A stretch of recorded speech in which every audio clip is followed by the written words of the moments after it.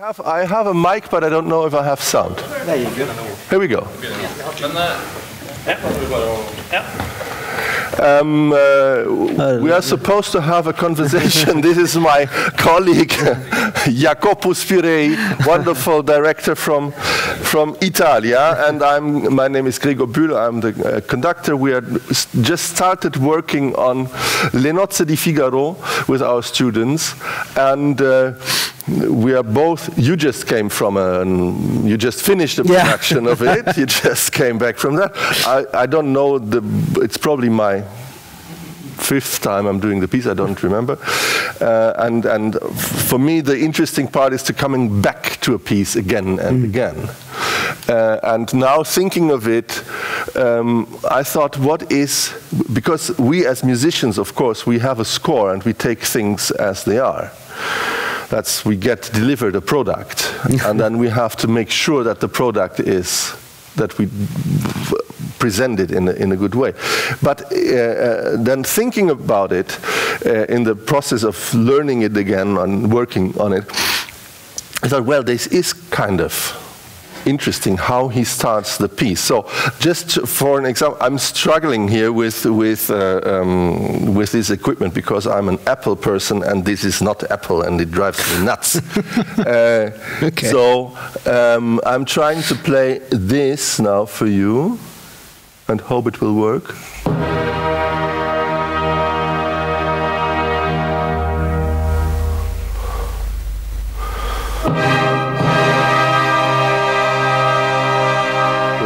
It was not what I wanted to play, but never mind. this is now.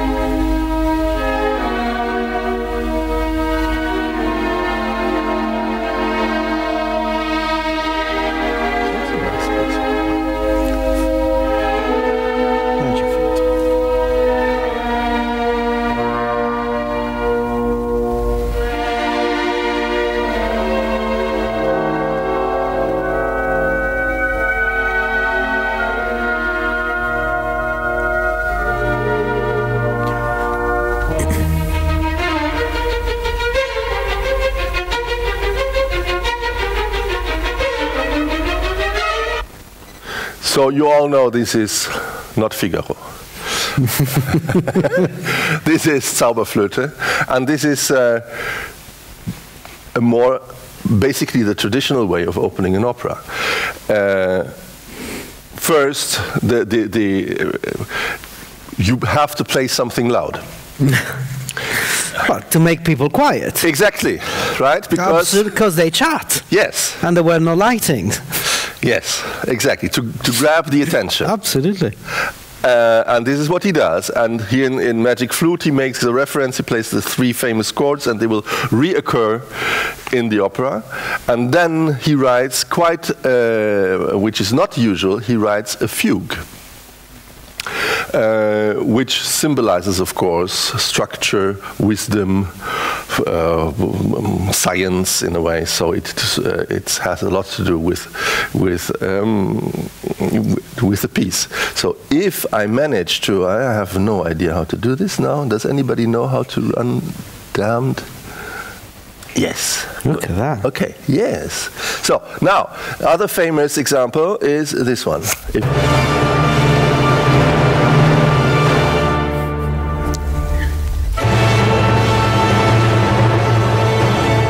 Make a noise, right? Say hello.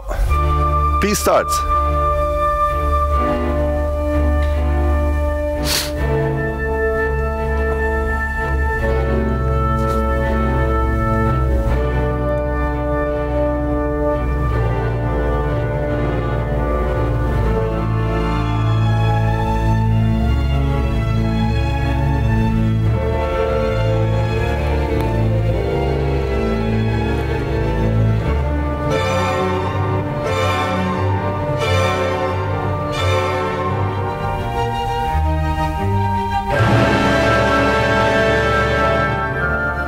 And so on and so forth.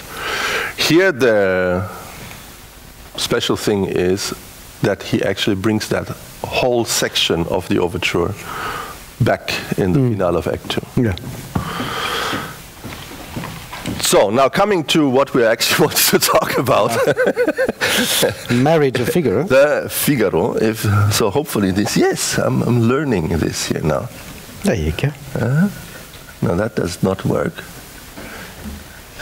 Ga- Eilert, come and help me. See you there. Can't move this here. Two fingers to scroll.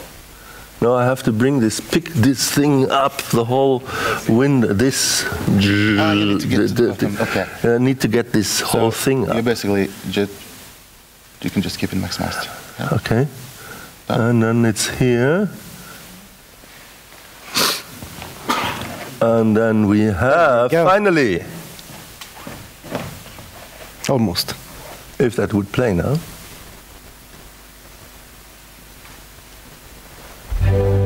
No. That's what I want. I want the first track, you damned idiot. How do I play the first track?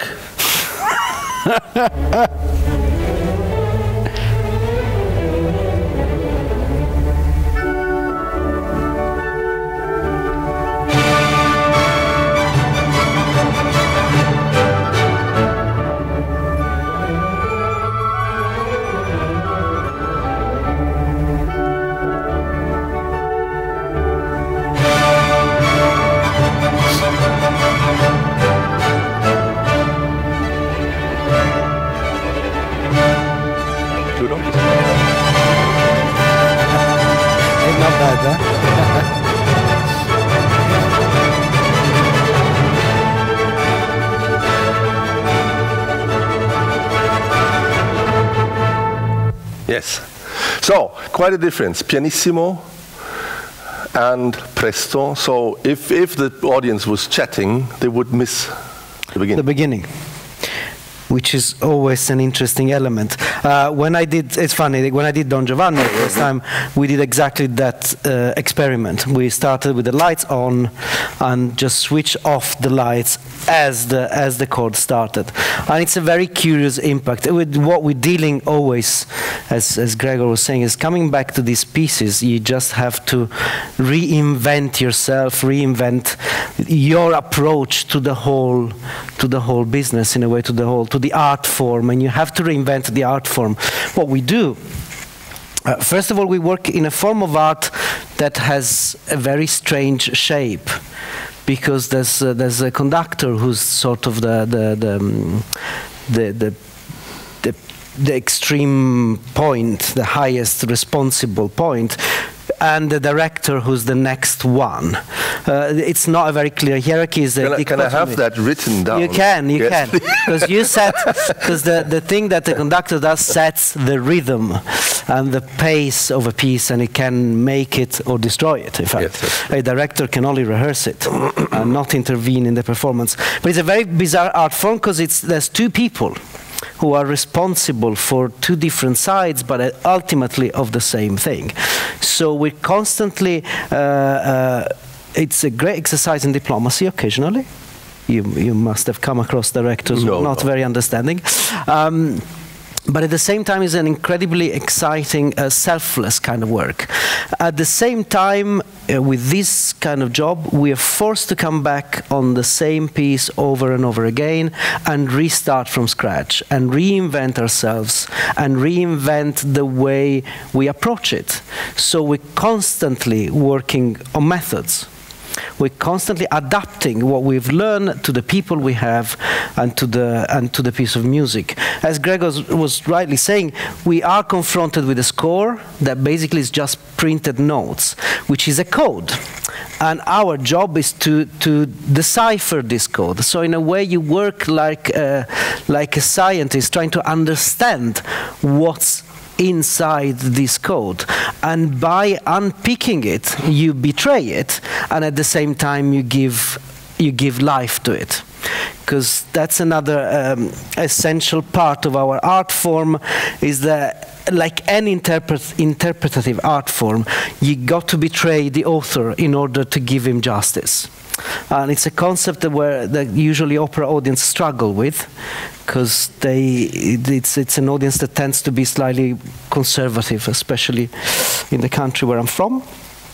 But generally uh, you feel opera as a, as a slightly more conservative art form whether in fact is one of the most experimental art forms. What we do constantly with the singers and, and, and, and with, and with, with musicians it's, it's research we never ever stop researching. We never can or will replicate the same thing. We're constantly developing new systems to achieve new languages, uh, new skills, and new uh, technological skills as well. Opera is always on the front of the research, has got bigger budgets than any other theatrical forms uh, because it's a more expensive art form and therefore not suitable for, for private funding. And like the United States demonstrates. Um, but we are constantly pushing the edge. We're constantly looking for extraordinary effects that are not just spectacular effects, both in music and, and theater, but also that they are meaningful to a contemporary audience. And so, what we do, we're constantly translating um, something that is usually really old to a modern ear. And doing so, it's, it's complicated both musically but and the, the, artistically. the, I, I find the fundamental difference between your job and my job is you can you're much freer than I am. yeah. You can and you have to rethink the piece and Yeah. I mean if you don't want to do a museum Of course. kind of performance uh, you rethink the piece and, and think what does it actually mean for us today Yeah. or does it mean something Anything, that's may- maybe it doesn't and maybe we can just look at it as a old times Yeah. whatever. But that's kind of boring if you ask me. Uh, i think we agree on we that. agree on that. uh, and but but we as musicians, I always say, you know, if you if you, uh, uh, classical musicians compared to, to Orthodox Jews are intolerant people, you know, we we have we, you find uh, uh, uh, people also in orchestra rehearsals saying, but this is not a staccato dot, this is a staccato you know, and they will argue for on end if and in the end it just sounds bloody the same.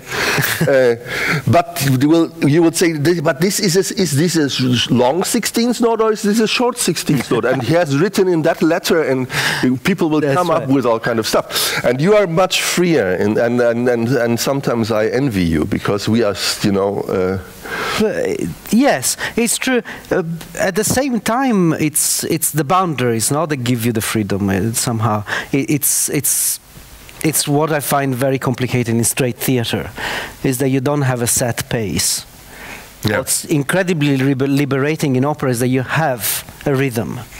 There is, it is written the piece. You but just this is where where where uh, directors who come from theater, normal spoken theater, Struggle. they they they fail. That's right. Most of But within this because they can't No, deal with it. that- oh, they, exactly. they don't have any That's extra right. time. It's it's where it is. Absolutely. but with these these boundaries, do you not feel somehow that when you find when you find a, a, a room for interpretation, you're not finding more liberating than than just doing whatever you feel like in a way. So somehow, uh, for me, it's sort of um, it's it's it's pleasant to have a railway, so to speak. Yeah. A, a, a, um, a wall against which you can lean. Right. And, and, and build. But you are an opera guy. Yeah, yeah, yeah, that's Uh, right. you learned that profession, right? True. Uh, but it did it did suit me as well as a instead of a all around creative artist like writing a piece ex novo or from scratch. Yeah. interpreting somebody else's um, ideas and project i find it fascinating. Yeah. unless the composer is alive and is in the room which is very tricky i have to say. I did a production of brokeback mountain. You might know the movie. Uh, that is a contemporary opera with a composer who's alive and had a lot of ideas and it's surprising also how few uh, you know, when you ask all these questions, how little answers he had. At one point, there's a ghost in this opera. You think Brokeback Mountain and Ghost, why? So I did ask the composer, why did you put a ghost? And he said, well, you know, it's an opera. He's from New York. I said, right. That's the reason for it. And that was that. And so some, sometimes we're, we're confronted with these, with these ideas like, yeah, well, it's an opera, you know, that's why it's like that. And we have to make sense of it. And in a way, musically similar, isn't it? I mean, somehow But one is this. we, we have to, uh, unfortunately, face that opera, the great, the golden age of opera, has passed.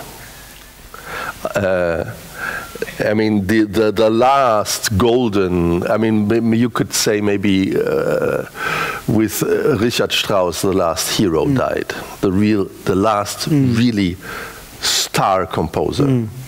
And after that, you had occasionally, then came Britten, who was very successful, and then came uh, Henze, who was Yeah. very successful, totally forgotten by now. Uh, uh, Britten, thanks God, not. But all these people, including Britten and Henze, wrote 20 plus operas. Yeah. Today, they are lucky if they manage to write two. Yeah, yeah, yeah. Absolutely. So they don't have the skills. Yeah. Even Mozart, you forget about the first 10 pieces he wrote. That's Nobody right. plays them. Which is very similar in, in, in film industry and music industry. I mean, if you don't make it with your first movie, that's it. I mean, it is a bit of a ruthless business.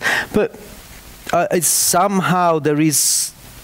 I mean, I wish contemporary opera had a bit more space, frankly, because there's quite a lot of talent around. They just don't have the the, the no, it, what, what, what totally dis- disappeared um, um, is the tradition. Today, you get commissions quite a lot. Yeah. There's a lot of stuff. yeah, especially in America. commissioned and played, but only once. It's being performed once and Yeah, garbage. yeah. Uh, and so with that, you never create any kind of No, that's right. repertoire that people know. Uh, I mean, probably the last one in, in, in Germany, where I know a little bit more about how things work, was Henze. Yeah. He was his pieces were being played in 20, 25 productions. That does, simply does not happen anymore.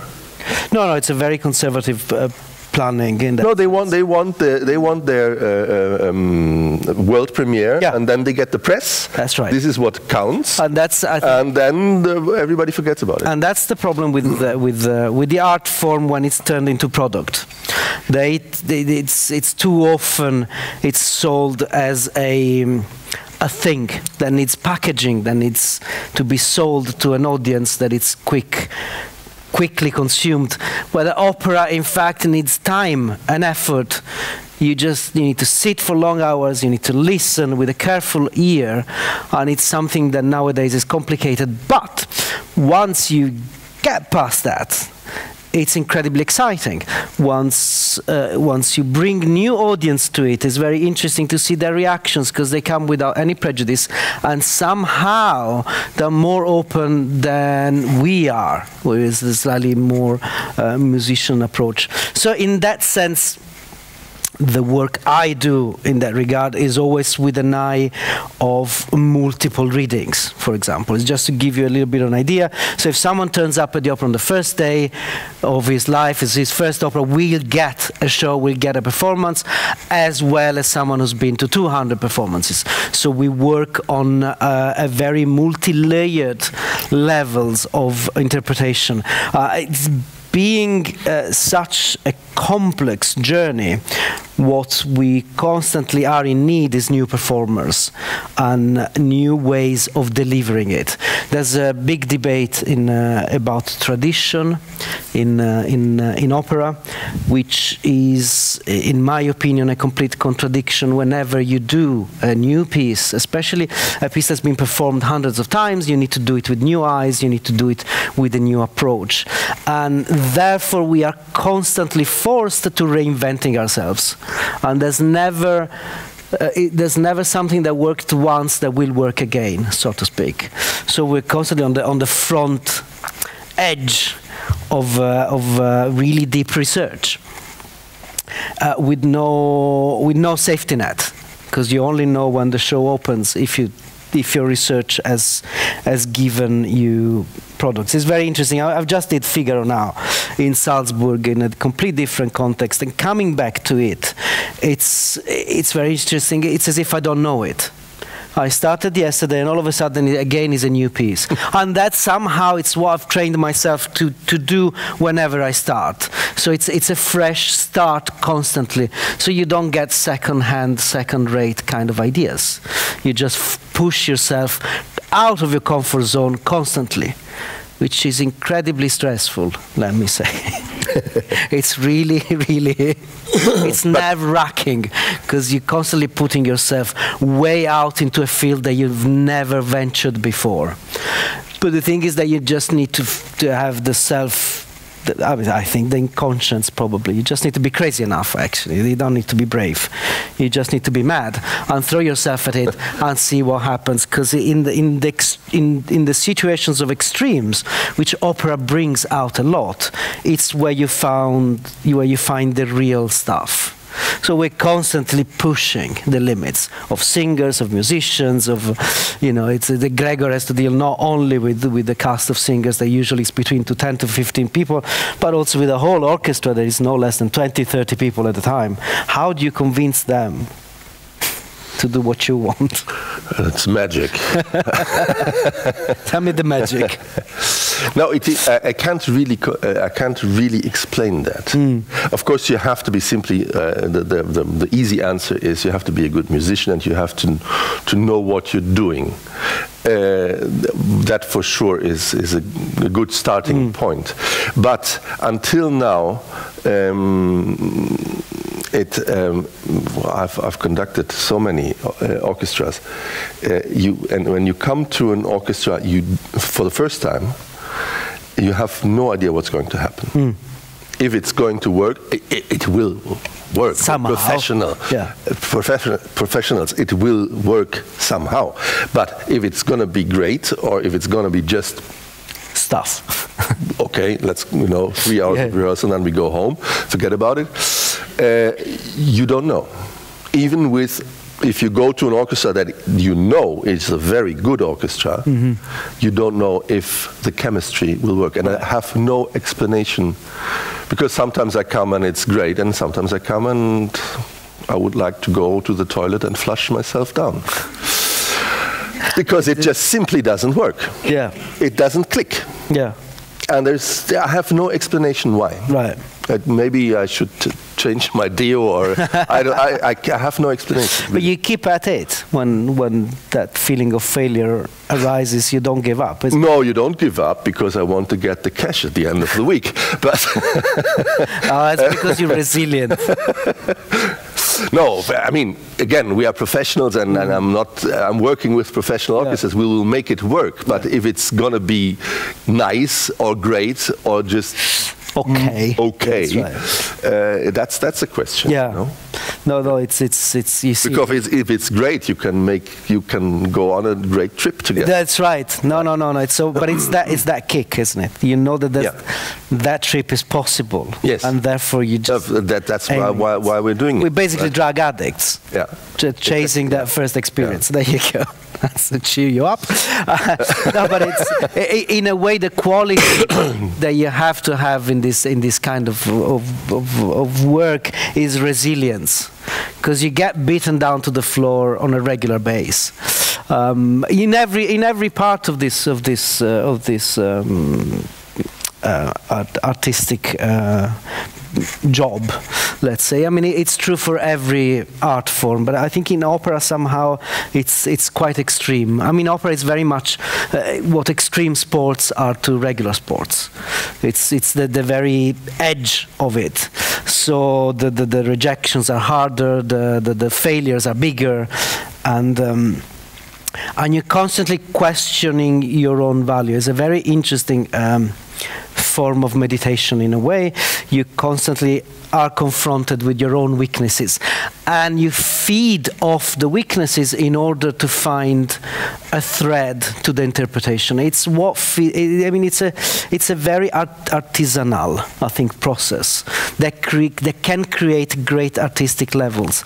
But it's the daily hours the daily minutes you put in it and the, the, dedication that you, the selfless dedication that you put yourself in, that gives that kind of uh, quality. And you never know because there's so many elements that come together. You know, as a painter, in a way, you're in control. Your only limit is the canvas. However big it is, that is the limit.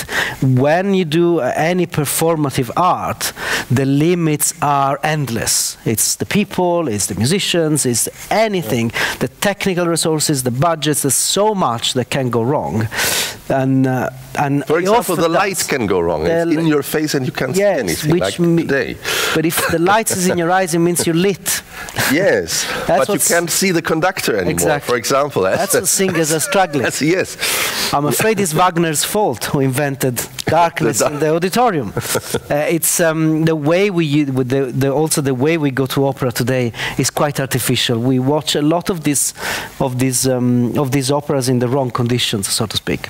Uh, Marriage of Figaro would have been performed in normal candle lights. Stage would have been a little bit brighter because he had a bit more candles, but the auditorium would be lit and people would be drinking and chatting and coming and going. That's why Baroque operas were so long, because it was a form of public entertainment. And you know, it's a place where you meet people, it's a place where you do gossip, it's a place where you eat, you have sex, and all that kind of stuff. Uh, and uh, it, we, we sort of created this this, um, this church-like world in the, yes in the theater, which is which is good in a way. On the other hand, tricky because we approach opera in a slightly too religious way, in a slightly too respectful way, and therefore we remove the art form from people. Uh, whenever I've done quite a lot of work with communities, I did uh, earlier last year a Nabucco in a car park with 250 volunteers uh, as, uh, as a choir. And there's people who they would never sing in their life and spend a whole year learning singing, uh, learning the part that they had to sing. And we performed Nabucco in this massive space with cars, fences, rifles. It was, it was, a, it was a riot. Uh, but the the, what was interesting is the fresh eye of someone who has no idea of the art form, has no idea of, of the arts in general, and has a very regular life, not exposed to much theater or much arts in general, and to see how they open and reacted immediately, the same way a very consumed artist would. This is to say that somehow there's an immediacy on the on what we do and we too often we tend to intellectualize it too much. The way we the the, the form of understanding uh, opera and theater is an instinctual form of understanding. When people say oh i don't go to opera because i don't understanding there's the, i don't understand it there's a fundamental mistake in there. Uh, an art form doesn't need to be understood with your intellectual brain. Of course your intellect allows you to read the signs, the symbols, the codes, but that doesn't mean that you cannot have a relationship with the art form. It's a great problem with contemporary art. A lot of people say, oh, I could have done that. But the point is that you haven't. You have not done it. And someone has done it. What does that person want to say? And therefore, if you don't have any experience, somehow you have a much more direct relationship with, with, with the art piece than when you go with an awful lot of intellectual uh, boundaries to it.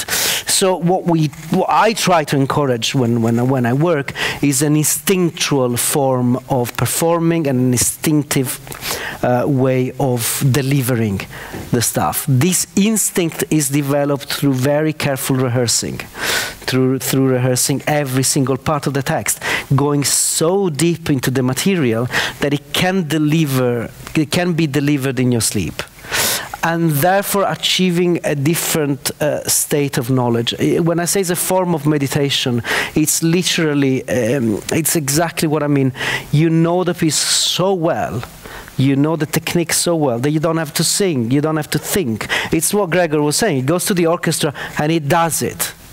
And you don't know the outcome, but you just you just do it without thinking, oh, I'm gonna today I'm gonna present myself with a tie, yeah. I'm gonna wear that deodorant, and I'll be. With a green shirt. That's right, exactly. My lucky underwear and all that. You know what I mean? It's- have lucky well, yeah, underwear. I do have lucky Yes, underwear, okay. of course. I'm Italian.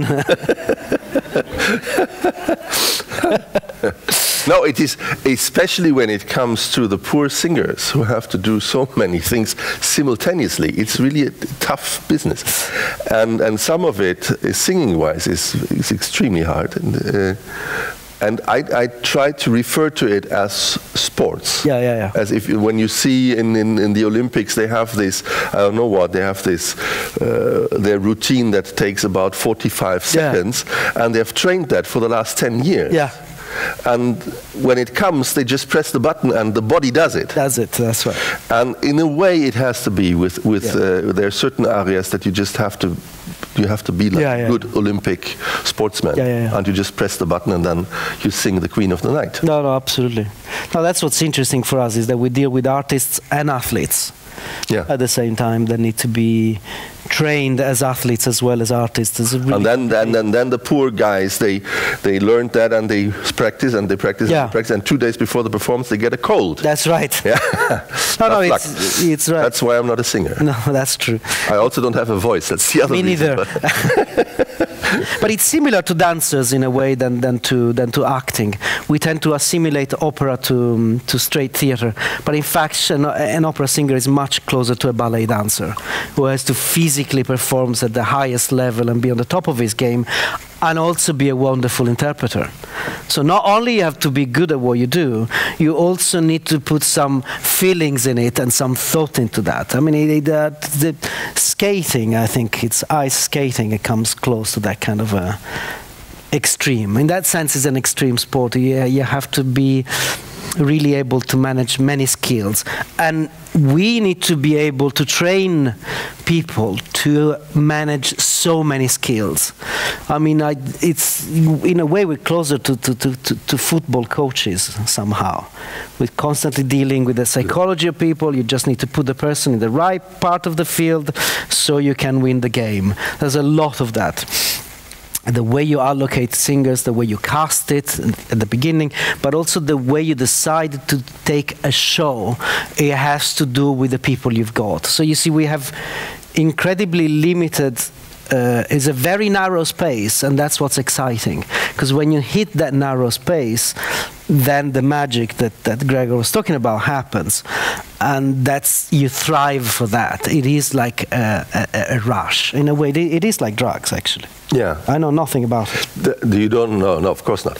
Uh, um, looking at the piece again and reading the news over the last uh, months, it struck me how uh, how contemporary the piece is.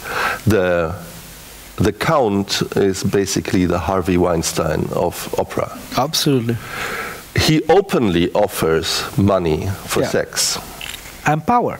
And yeah, the um, and it's and it's very very mm, clear and outspoken. even. Yeah. I mean, they, he, the, the the difference is he doesn't hide it. No. he does it in the open, right? Uh, nor, nor did Harvey Weinstein in the business. I, I, They all- well, I don't know. well, they all, they all knew.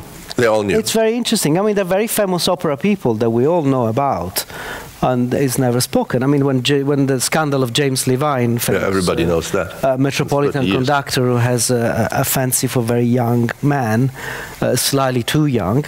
Uh, that was a known fact in the opera business, and nobody spoke until someone finally actually spoke, uh, and that that is that is a big issue in every artistic field. Because whenever there's a person that has the power to give you a job, that person has the power over your life. Because you desperately want the job, you worked so hard. And you know, it is very interesting. The debate in Italy became about these actresses saying yes to this man. But instead of focusing on, on the behavior of this man, another male oriented society behavior. In this piece, we confronted with a comedy. So, what's tricky nowadays, and it's what probably Figaro as an opera will suffer off in the future is that we're meant to laugh at that and then everything as a happy ending. How can you have a happy ending now, in this time and age? This is a question I've tried to answer already in Salzburg, and I'm trying to answer again with this production. Well, the, well I wanted. Well, I'm, I'm, I give up on this. On technology. Uh, on Windows, I give up on. It's Windows. good. We do an Uh, analogic art form. It's good. uh, I wanted to play to finish it off. I think our time is is, is up. Um, uh, I wanted to play the one of the most famous moments in music history, and that's the difference between Il Conte and Harvey Weinstein. Yeah. Because the Conte goes down on his knees Yes. in public and says, Contessa, I'm sorry. I'm sorry. Forgive me. When Mr. Weinstein said, I'm sorry, I didn't do it. That's right. Uh, that's the difference. And of course, it's one of the most beautiful and touching moments in, uh, in, in music history. And again, the way he creates it uh, is fantastic because he writes so much, again, so much fast music, so much confusion, and then he stops it all, and then he goes very slowly, G major, only two harmonies, as simple as it can Yeah. be, and people will shed a tear. And that's why we're doing opera. Absolutely. So that's, uh, that's what it's all about. We are playing this thing in March. March 14th is the opening. I hope uh, we um, could create some interest in Absolutely. our, in, our Absolutely. in what we do. In the and I'll finish off in the Salzburg one. I've put, of course, the whole Me Too subject into it, which created quite a stir. Uh, it was very funny. The, on the second performance, it got cheered with an applaud when this Me Too signs appeared. On the opening night, half of the audience laughed, a very uncomfortable laughter. Yeah, Austria has a very particular history. They haven't dealt with their past really well. No, no, that uh, Beethoven was Austrian and Hitler was German. That's right, exactly. That's, the, that's the way they deal with- That's the they, they, they with deal history. with all that. so you know, Karl Böhm has, has a room dedicated in uh, in the Salzburg Festspiel. But now they have a comment on it, right? That says he had he Yeah. had uh, he was mistaken in his political views. Yeah. I said that's that's That's an understatement. That's an understatement. Yeah. So that is a very interesting in a very conservative world how that got what kind of reaction. But then also it was very interesting to see how opera people reacted. Uh, the last the last thing I did it for was was for the sake of scandal. What I did it for was to raise questions. Because that's what we need to do. As, as artists, we need to, to pose the right questions and leave the audience to give actively an answer and not be passively entertained, which is what you do in front of TV. What we do, we provoke the brains, we ask questions, and we leave an audience to answer. So, with this figure, we'll research even more in depth on this field, and we'll see what comes out. Thank you very much. Thank you very much.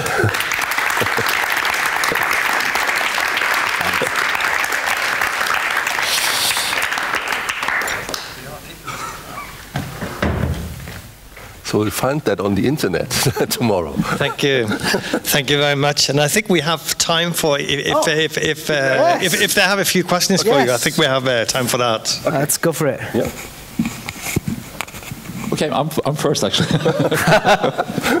um, this was a very interesting, and, and I'd like to. Um, uh, I, I made a reflection because um, um, you were you were speaking about the um, the possibility of uh, sort of interpret, interpretation and, and opening the work, and because there's a there's a work that needs to be done. Uh, there's a conservative element with opera, and but there's also a sort of a productive or production element. And Umberto Eco uh, published a book in '62 which was called uh, Opera Aperta, and and he where he he wasn't speaking about opera, but he was, he was speaking about art and, and, and the work, the open work and the closed work. And one, one could, and his his concept was basically that uh, modernistic art was more open than, than popular cultural pieces, which were, more, were, sort of more closed in the sense that they didn't offer uh, too many possible readings. So my question is, where in in classical opera is do you find the the opportunities for openness? Because as you said, there's a conservative, to some sense, a conservative reception culture. Um, I wouldn't characterize the blue-haired women, but but but you know, there's a Yeah, yeah. you you sort of characterize this yourself. So could you could you say something about where you find the spots where there is an openness in the classic opera? I mean, you, you have sort of touched upon it when you when you when you um, discussed the Me Too uh, movement in, in, in, in relation to to um, to classical operas, but but it would be interesting to to to uh, to hear more some some reflection about where you sort of dive in to find the openness. Uh, it's very interesting. I think uh, I think opera is a much more open form than we think. Actually, it's almost completely open. It's a little bit like um, like Shakespeare is for theatre, where it's actually um, possible to bring it everywhere, and not only in interpretation but even in performing space. You can actually perform opera in many different contexts, and which I think is a bit of the future of the opera. Um, the, the way we perform opera today is a 19th century approach orchestra pit, lights down, a frontal view, and there's more and more experiments uh, with opera in a slightly more immersive way, and I I believe that's more the future of of the art form in that sense, a slightly more immersive experience when you stand next to a singer singing is a very thrilling experience. Uh, that's one aspect of it. Of course, when when when when forced in a more classical uh, structure, like we're here, for example, the the, the, um, the, the, the opera is such a surreal art form that leads its, uh, lends itself to complete uh, reinterpretation. People don't speak, they sing. And because it's, it's so far away from reality, it becomes more real than reality. No, it's like a deforming lens in which you actually see yourself. So, uh, in that sense, is a very good mirror for an audience. So you're constantly reflecting yourself as an audience member with the opera and connecting on an emotional level. Because the emotional level hasn't changed over thousands of years of evolution, we still are the same men as we were 4,000 years ago the, the, the fundamental laws are still the same, and therefore that creates an openness about it. Jealousy and rage, love, sex, the driving forces, they're very big in opera and they're very big for human beings. So they're constantly talking to us, and in a way it's simpler. So it- th- there isn't a specific place, so to speak, that gives that, that freedom. Of course, um, I don't think one should betray the text. You need to find uh, an interpretation that fits what people are saying, because it, it's a bit it's a bit silly saying I'm standing up when I'm sitting. That's where uh, it's a bit crass, it's a bit vulgar to, to, to, to explain it that way, but somehow it, it is to make it a bit clearer. It's it's in the in the simpler terms, you know, when people are talking about raising a glass and stuff like that. Of course, you're forced. But apart from that, actually, there's quite a big opening, and it's very interesting. I often play um, scenes that are, that are meant to be very sad in a happy way and that makes the scenes even more touching, even more destroying. So you can play a lot with contrast. You can play a lot with with contemporary sensitivity. When I rehearse, and my my my my students can can testify it, I give a lot of pop culture references, TV series, uh, movies, uh, songs, and all of that, which are in fact functional because it's a it's a very closed art form. It's very interesting. TV series are very helpful because they're very specific, for example, and they cannot be anything el- else than what, what it is. But I can transfer something from a TV series into an opera, and not vice versa. But if I, I may jump in here, um, of course, already the, the the set and the costume do a lot of things. Yeah. Of course, it makes a huge difference if we put Le Nozze di Figaro in, in, in uh, 18th century costumes with wigs and whatever, or if we put them in today's clothes and with, uh, with a today's environment. Yeah. That already creates a totally different atmosphere on, on stage, and, uh, and there are many possibilities Yeah, yeah. in that direction. Yeah, yeah, there's a lot You can also do, I mean, there are pieces that are, uh, that are not, I mean, if you go into Wagner, for example, you can, you can even have different time Yeah. zones on one stage, so to say. It has to kind of Yeah. no, no time and all times simultaneously. Oh, that's right. But it is a complete open form in that sense. Okay, uh, uh, do we have time or should we go on? It's up to you, really. I'll be sure- Maybe, I'll be maybe sure. it's just a, a, a comment then. Um, uh, when I was doing music in French, uh, uh, rehearsal was called répétition. Uh, repeating. So uh, I have a question with regard to rehearsal as from the point of view of the director and the point of view of the uh, conductor, um, because in in uh, uh, David Snowman's uh, Gilded Stage, A Social History of the Opera, you get the whole profile of how the, the form grew from the intermezzi, etc., how it became more complex and occupied the front stage, how it was played a certain number of performances and not anymore. Then you came into the Romantic era, and you got historical repertoires in music, and you got Gesamtkunstwerke with Wagner. And so uh, in, in our day, uh, I mean, so this is, goes back to, to, uh, to, to your, your issue about things being played and not, not being played again. But I suppose now it's for different reasons, because once it's recorded, we can repeat it, repeat it, repeat it indefinitely. Of course, that's, a, that's one of the aspects, that's true. Uh, Italian has the perfect word for repetition, which is prova, which means try out, which is very much what it is. It's, We use that in Norwegian too, prøver. well, that's that's what it is. It's not, uh, it's, but uh, it's very interesting because the the French system, uh, coming from the 19th century, was based on repeating the stuff because you got the choreography, you got the stuff, and it's just repeating. So the show was sleek and perfect and French in that aspect. I'm talking about in um, in terms of 19th century of Grand Opera and all that, which was mecca for also Italian composers. You know, Yeah, yeah. you were not a serious composer if, if you haven't performed in Paris. But it's true that replicating opera is tricky, but it's what's sending the Metropolitan Opera to bankruptcy. They had these great ideas of putting opera into, um, into cinemas, and therefore, if you're far away, you don't feel you have to go there to witness the art form. You can sit in a cinema and watch it. And nowadays, we think that it's more or less the same. And it's true because the technology is very advanced. What in fact we need to do is to make it exclusive. You can only enjoy it if you come and watch it. You can do teasers, you can, but re- replicating, I think it's a little bit of a mistake hmm. in that sense. You gotta enjoy the live performance, and we tend to miss that point. Thank you.